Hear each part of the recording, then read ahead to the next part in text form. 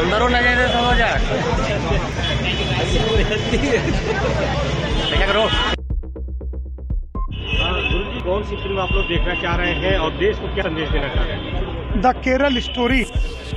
इस राष्ट्र के एकता और अखंडता और हिंदुस्तान के किसी एक राज्य को टारगेट करके कितनी बड़ी साजिश है कि बत्तीस हज़ार लड़कियाँ केरल से गायब हुई और वो जिन परिस्थितियों में पहुँच गई आईएसआईएस के लिए सेक्स बम के रूप में जो इस्तेमाल हुई और आत्मघाती दस्ते के रूप में इस्तेमाल की गई तो इस फ़िल्म का जो मोटो है, मेरा साफ़ मानना है कि यह व्यक्ति की स्वतंत्रता ही एक पक्षीय नहीं है।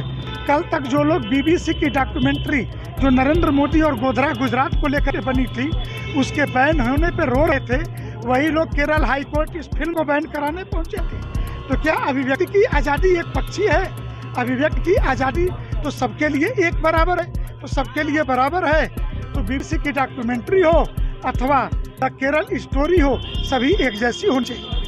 देशवासियों से क्या अपील करना चाहिए? देशवासियों से यही अपील करूँगा अगर राष्ट्र की एकता और अखंडता चाहते हो तो हिंदू अपनी बहन बेटियों को समझाए और इस फ़िल्म के माध्यम से यही बताने की कोशिश है।